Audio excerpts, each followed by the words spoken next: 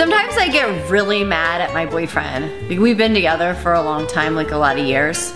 Like I'm pretty sure he keeps track of it like a prisoner does in jail, like marking little things. I've realized that a lot of the time that I'm angry with him is when I'm getting a bikini wax. I mean, I get it. It's like, I want to be sexy, whatever. I figure it's his dining experience. No one likes to floss before they're finished eating. I'm wondering who the first like porn star director was that was like, you know would be a really good idea?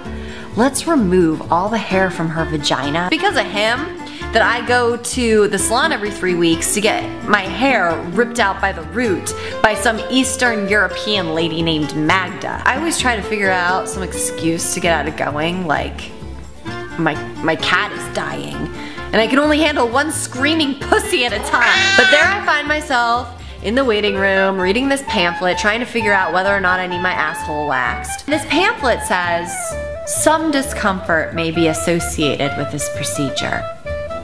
Um, I experience some discomfort when I'm watching the WB. This is a whole different thing. First, Magda spreads hot wax all over my lady bits, which I have to admit feels really good.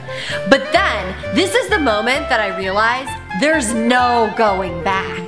Once she spreads hot wax on my lady bits, I have to let her rip it off. When she does this, my first instinct is to punch her in the face. The second thing I think is, is, it, is my clitoris still there? The third thing I wonder is, is it too late to go for a more conservative look? Like not removing the whole carpet, maybe leaving like an area rug or, or welcome mats. The problem with hardwood flooring is that hair is helpful for three reasons. Number one, to remember your natural hair color. Two, uh, to keep debris away from your holiest of holies. And three, to direct your pee downward. Without hair, Urine has ADD. It just goes everywhere. Hair is like Ritalin for your pee. You have to learn this whole new technique when you get your hair removed. There's like, there's like a tilt to it.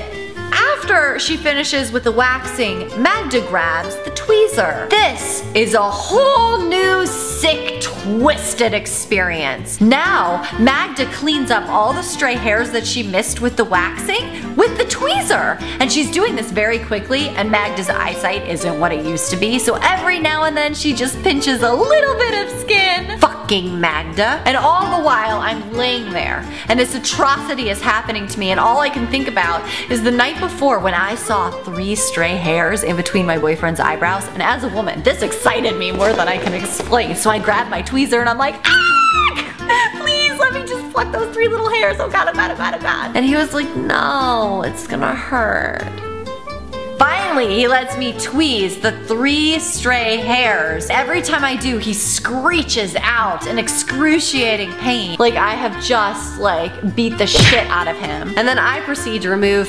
49 hairs from my own massive unibrow without even batting an eyelash, thinking, you know what, what are they gonna think of next? At least the style isn't to have straight hair down there. We'd all be using these like little mini irons to straighten it. Think of the burns.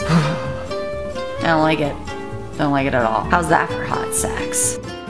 Are we done? Yay! Just let me pluck the little hairs.